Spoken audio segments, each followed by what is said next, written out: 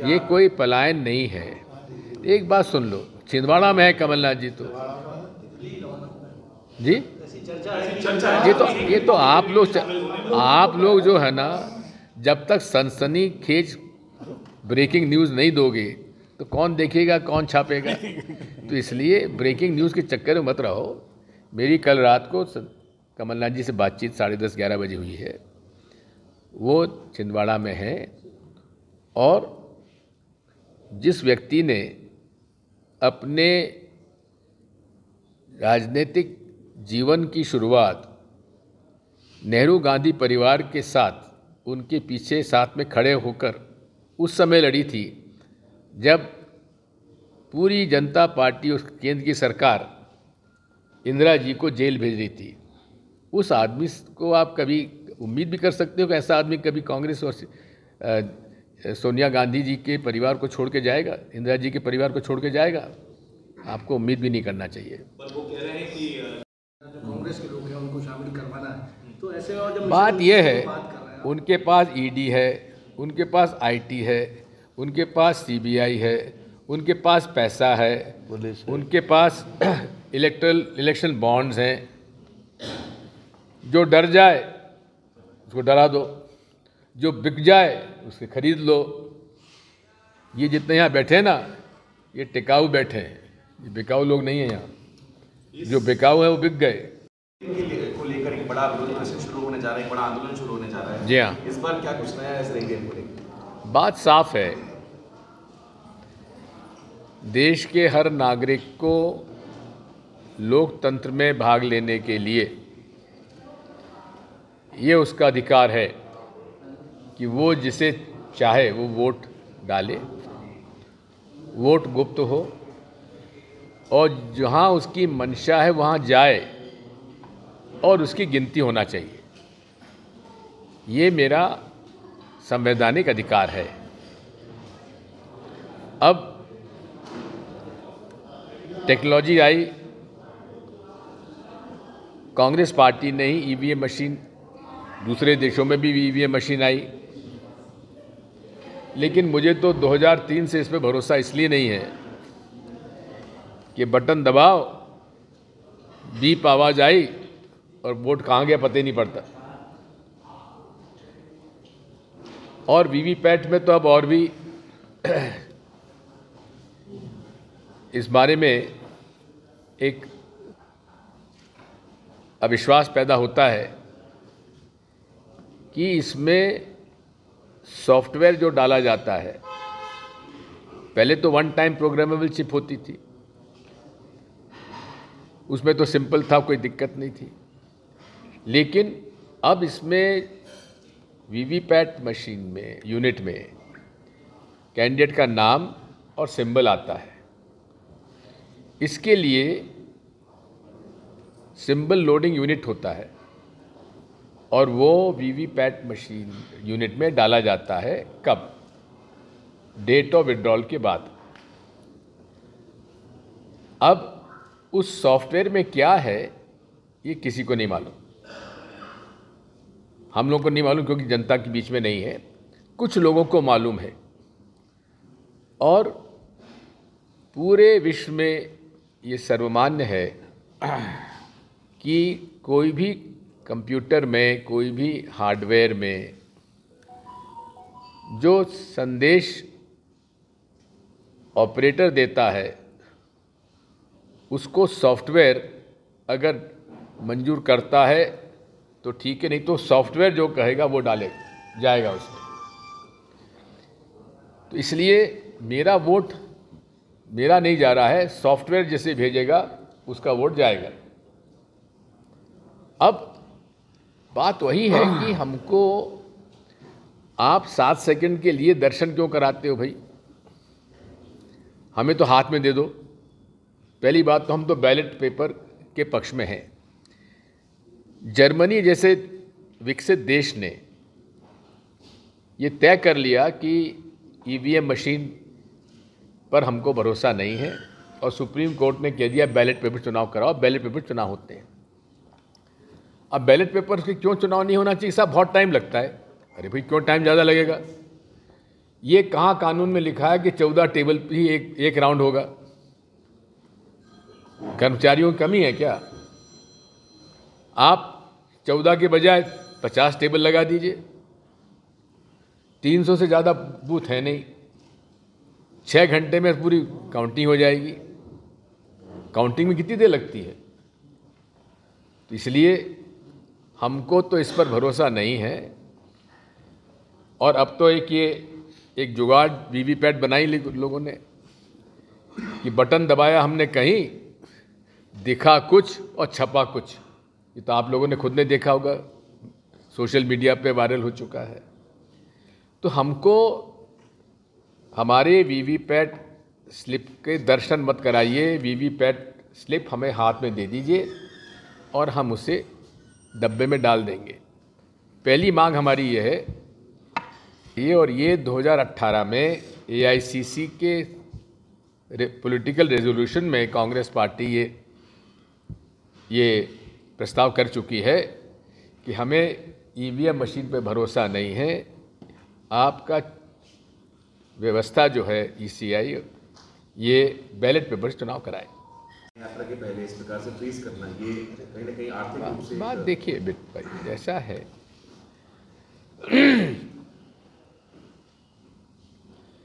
दो हज़ार बारह के बाद से जब से वीवीपैट मशीन आई है चुनाव प्रक्रिया में मोदी जी और उनके जो जो क्लोज ग्रुप है वो अति विश्वास में है। चौदह में कहा, भाजपा को बहुमत मिलेगा। बहुमत होता है दो हज़ार बहत्तर पे। उनको मिले दो सौ चौरासी। दो सौ बहत्तर। उसके बाद 2019 में उनका 300 पार तो मिले 303 इतने बड़े देश में, जहाँ 90 करोड़ ज़्यादा मतदाता हों, इतना निर्णय कैसे मतलब इतना भविष्यवाणी कैसे हो सकती है? अब मेरे पास दो उदाहरण हैं। एक, बैरसिया में 17 नवंबर को चुनाव हुआ। 19 नवंबर को एक व्यक्ति ने अपने फेसबुक पे डाल दिया कि भाजपा को इतने वोट मिलेंगे, कांग्रेस को इतने वोट मिलेंगे और भाजपा इतने वोट से जीतेगी। कब? 19 नवंबर को, चुनाव के दो दिन बाद। और नतीजा आया तो वो कब ही आया? इसी प्रकार नागदा में, जो उन्होंने काउंटिंग के दो दिन पहले, दिसंबर एक को, जो नतीजा डाल दिया वो का वही आया? एक परसेंट भी इधर उधर नहीं था।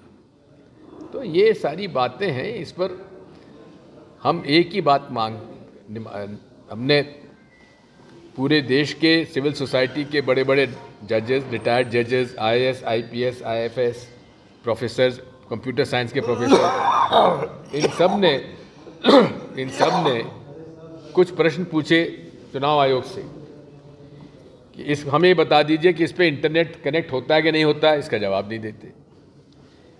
हमने पूछा कि साहब सॉफ्टवेयर क्या डालते हो, उसको उजागर करो। हमने पूछा कि ये आपकी चिप आती कहाँ से है? इस चिप में सॉफ्टवेयर डालता कौन है? सॉफ्टवेयर बनाया किसने है? ये सारे प्रश्नों का कोई जवाब नहीं देते।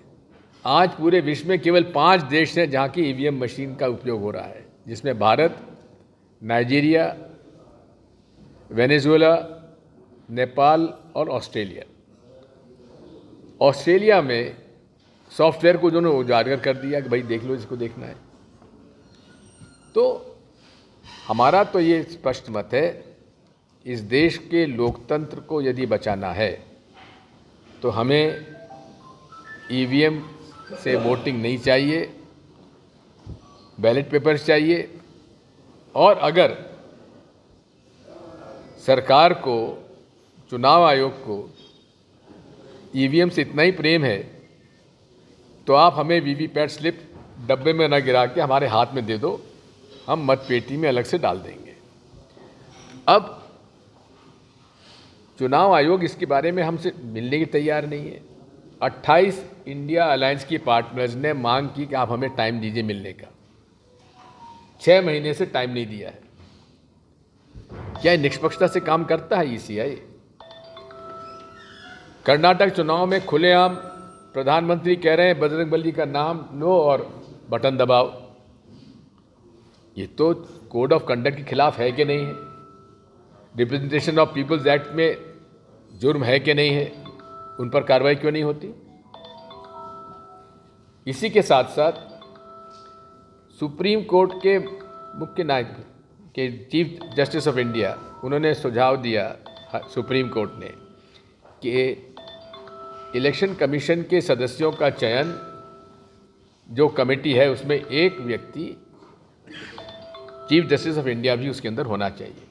और चीफ जस्टिस ऑफ़ इंडिया का प्रस्ताव भेजा गया।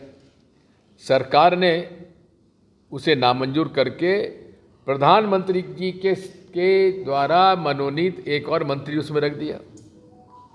तो ये तो निष्पक्षता की निशानी नहीं है। खुलेआम पक्षपात हो रहा है। अब मालूम पड़ा है कि जो कंपनी ईवीएम बनाती है उसके इंडिपेंडेंट डायरेक्टर में भारतीय जनता पार्टी के चार नेता हैं। ये तो मदर डेमोक्रेसी जिसे कहा जाता है उसके साथ तो मज़ाक है कि नहीं है ये?